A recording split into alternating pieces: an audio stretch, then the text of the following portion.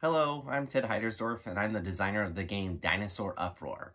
This is a solo or cooperative action point game that's just 54 cards. And in this game, you're at a dinosaur park where the dinosaurs have escaped and are on the hunt. And it's up to you to do the necessary repairs before someone gets eaten. Uh, plays in about 20 to 30 minutes and it's for ages 10 and up. So with that, I'm going to jump on the other side of the camera and give you a brief overview of how it plays. This is a, kind of a typical setup for a two-player game. And the object of the game is to repair all the locations. That's this row here. And each location has icons that show you what type of repairs need to be done. And throughout the game, you'll be collecting item cards. And in addition to a special action, it shows you what type of repairs they can do. Each player will have a character card. And on the character card as a special action. And during setup, any location that doesn't get a character card for a player will get a non-playable character. Those are on the, the back side of the, the character cards. These need to be protected throughout the game. On a typical turn, there's two phases, an action phase and a dinosaur phase. On the action phase, you get three action points to spend how you wish on the various actions. You can transfer items, you can restore power, that helps protect against dinosaurs, move to different locations, uh, search for items, and uh, do the special action on items or special action on character cards. And finally, the repair.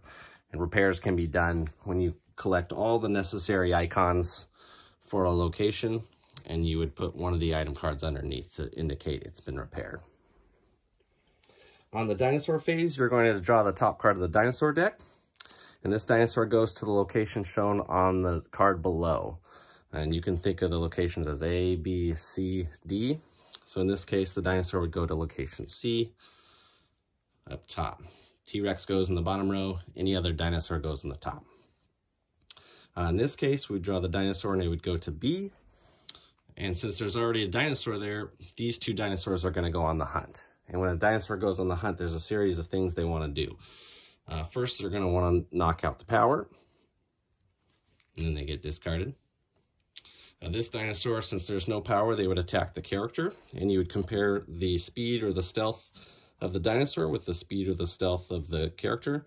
And in this case, the character would get injured. And you'd keep this card off to the side to track your injuries. Uh, if there's no power or no characters, then, then the dinosaurs are going to want to steal items or move to other locations. If a character ever gets injured three times, uh, you lose the game. But if you can repair all the locations before a character gets injured three times and before the dinosaur deck runs out, then you win. Uh, that's pretty much how you play Dinosaur Uproar. Uh, if you're interested in trying it out, there are links in the description for print and play and for Tabletop Simulator. Thank you for watching.